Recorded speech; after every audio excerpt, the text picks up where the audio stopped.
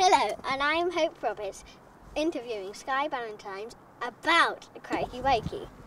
Um, it's a harness um, which children put on when they're learning how to ride a bike, and it's got a handle from shoulder to shoulder, um, which the parent can hold on to, so they don't have to bend over and um, have a bad back trying to hold the back of the seat and the handlebars. So it's really good for learning how to ride a bike and the child feels safe and um, supported and if the child falls off the bike then the parent can just um, lift the child up with a strong handle. When I first came into the Landmarc Innovation Hub um, to show my project to Matt Roberts, it wasn't really a product yet it, and then he told me advice and he told me what to do and what not to do and um, where to get it manufactured and he gave me loads of advice and then it just took off from there.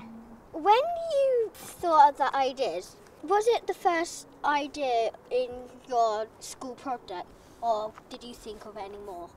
Well, yeah, yeah, I thought, of, I know, I wanted to do it with the bike because it's from my own experiences and I read, I also read that um, one in ten children can't ride a bike, and almost a quarter of that um, have never run 400 meters. And I thought that was kind of a bit shocking because it's it's not really hard to learn how to ride a bike. You just got to be bothered to do it.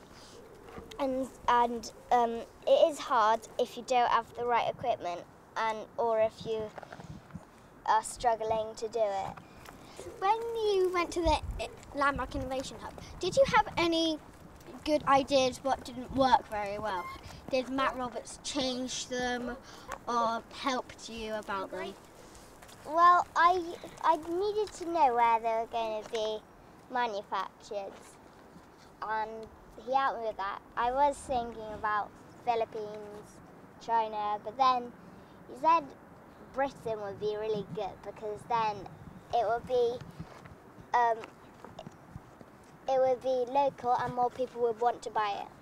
Thank you, Sky Valentine's, for talking about uh, Crikey Bikey for us.